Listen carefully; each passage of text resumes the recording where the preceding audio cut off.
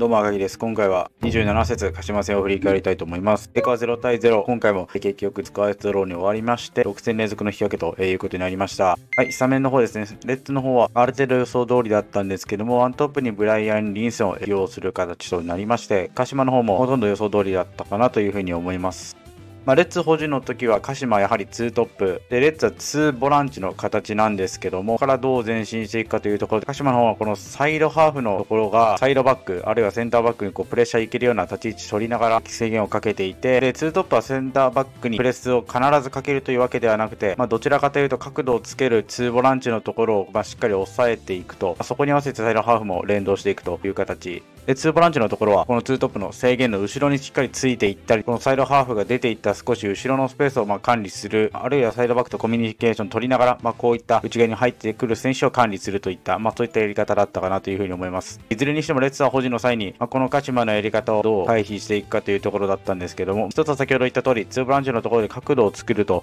いう作業ですね。まあ、基本的に2ボランチのところから2トップの間を取りながら、基本的にこの三角形の間でプレーすることになりました。でこの際に、レツの方はアクションとしては、サイドハーフの2人が内側に入ってきて、鹿島の両ボランチの少し脇のスペースで受けに来るといった形で、数的優位を確保しに行ったということでしたけども、まあ、ここに関しては、関根が一度、えここで受けて、このライン間の渡辺に、まあ、通しかけたというシーンだったり、まあ、グスタソンがダウンして、大久保がその位置に瞬間的に現れて、まあ、ここから内側へ運んで、えドリブルを見せたりという形だったんですけども、まあ、いずれにしても、まあ、レッツの方は、このサイドハーフの起用、関根と大久保をま起用している、張って、フィンガータイプで仕掛けるということではないので、まあ、こういう形も取りながらということになったんですけども、まあ、ただ、その場合は、ま、やはり、突然同様にサイドバックが高い位置を取るという形になりますので、ま、ボールを前進する形としては、ま、ボランチがダウンしての3枚回し、ま、グスタフソンだったり安井が、ま、ダウンしながらという形、ま、グスタフソンが特にダウンすることが多かったかなというふうに思うんですけども、ま、ただこの形で安定的にま前進できた回数はそこまで多くなかったかなと。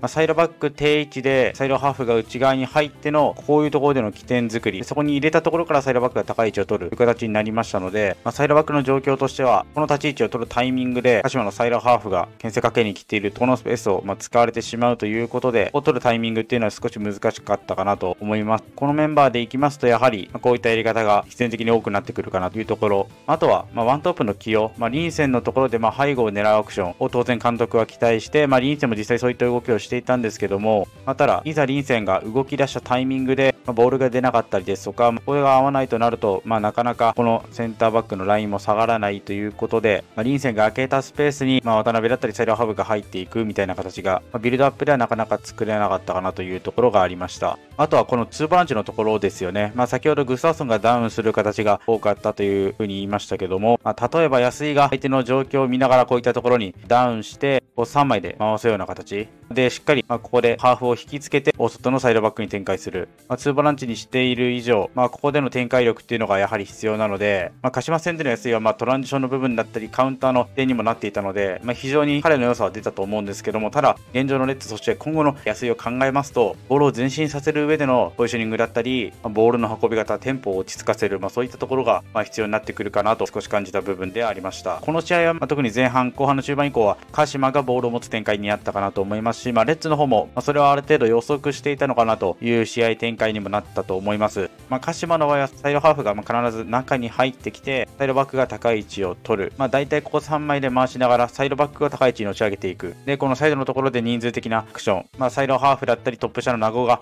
まあ、背後に抜けていきますので、まあ、そこに鈴木優馬が瞬間的に降りてきて、ここでの起点作りっていうのはもう鹿島のメカニズムとして確立していますし、まあ、とはボールサイド、まあ、スライドしてきた状況であれば、まあ、かなりこういった逆サイドへのフィードっていうのは、まあ、他の試合を見ても、ま、狙っているポイント。それはこのノノの、ま、個性を生かすことにもなりますし、まあ、この大外を開けるためのランニング、ま、やってくるということで、まあ、レッツとしては、この鹿島のサイドアタックと逆サイドのフィードを起点としたダイナミックな攻撃に対して、ま、どのように対処していくかというところだったんですけども、まあ、ノのところに関しては、まあ、関根がある程度ゾーンを見ながら高い位置を取ったら、ある程度ノーノにつくような感じで、人数的な負荷を埋めながら、で、この状況になったら、ある程度運ばせて、まあ、全体で引く形で、まあ、ブロックを形成していたかなと思います。まあ、右サイドに関しても、まあ、最低限ここのポケットのところは、まあ、グースターストンがこう埋めて、まあ、石原出てって、大久保がカバーしてみたいな形だったり、まあ、かなりこの鹿島のサイドアタック、まあ、最終的に背後を狙ってくるところに、ある程度引きながらいう形で、まあ、チームとしての目線ははっきりしていたんじゃないかなと思いますし、まあ、こういったところで蓋をしつつ、ただ、カウンターの際にもここからまあ関根が出ていったり、まあ、先ほども話した安井がまあ一人でゴリゴリ運んんでいったりみたいなところでカウンターの球を打てたので、まあ、ヘグモ監督が狙っていた展開的にはま悪くなかったんじゃないかなと思いますし、まあ、レッツが今シーズン課題としていたローブロックのところもまあ改善に取り組んで、まあ、それが実際にまあピッチ上に出ているんだというふうに思います。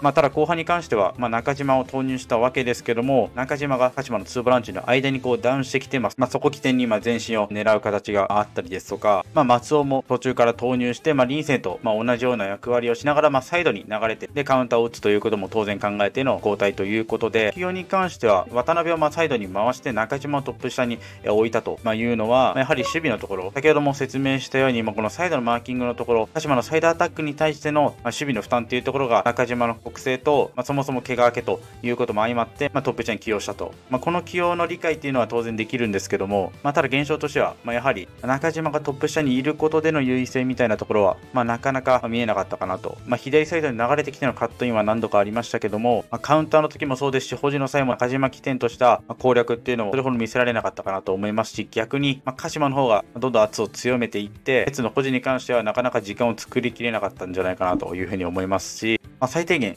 鹿島のサイドアタック、まあ、そしてクロスからのボールに対しては蓋をしていたんですけども、まあ、ただスローインからの、鈴木馬の決定機だったり、まあ、要所要所で、まあ、ピンチも迎えてしまったのかなというふうに思います。まあ、最終盤にチアゴ・サンタナをトップに入れて、そこで少し収めてもらって、中島がトップ下の位置で、まあ、拾うみたいな形も、なかなかチャンスチンにはつなげられずという形だったかなと思います。はい。ということで、鹿島戦をざっくり振り返りました。まあ、突戦に引き続いて、やはり目に見えて、442で構えて、最低限相手の狙いのところは、まあ、塞ぎながら、ま、カウンターを狙おうというところには改善が見られましたし、まあ、現状のメンバーで考えても、サイドバックが高い位置を両サイドとも取るという形になっているように、まあ、攻守両面に現象として現れているかなというふうに思います。この現状の前提があって、ま安いのボランチとしての成長のところだったり、まあ、トップに入っている選手とのコンビネーション、まあ、単発で裏抜けするだけではなくて、まあ、そこに連動したアクションがま必要だということは、まあ、今シーズンずっと思っていることですし、まあ、それはどこが相手であっても、まあ、大事になってくるポイントだと思います。あと選手個人のところで言いますと、西川が病停止で、代わりに先発した新江川も安定したパフォーマンス、まあ、決定機の阻止のところもそうですけども、ジョアンコーチのもとで取り組んできたことが、まあ、クロス対応だったり、まあ、要所要所の判断のところで出ていたんじゃないかなというふうに思います。まあ、レッツは今回の引き分けで5戦勝ちなしという状況になってしまったわけですけども、まあ、ただ、中断前のあの守備状況だったことを考えますと、まあ、得点は取れていないので、まあ、はっきり前進と言っていいのかわからない部分でありますけども、まあ、チーム全体以外でも個人の部分でも、まあ、蓄積されているものが、まあ、去年からいた選手も含めてあると感じていますので、まあ、現状離脱した選手だったり、まあ、移籍してしまったこのカットの状況を考えますと、まあ、結果を残すためのこのやり方っていうのは、すごく妥当だと思いますし、で、ここから勝ちにつなげていくっていうところになりますと、今日で言うと、まあ、カウンターのチャンスを仕留めきるところもそうですし、まあ、ボランチの起点だったり、高い位置を取ったサイドバックに対する、まあ、ランニングのサポート、まあ、こういったところを、まあ、引き続き改善が必要だと思いますので、まあ、その辺を見ていけたらなというふうに思います。